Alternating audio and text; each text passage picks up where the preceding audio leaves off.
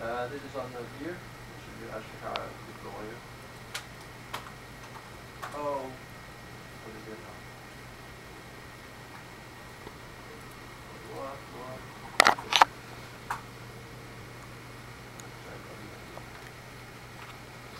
Oh, let op.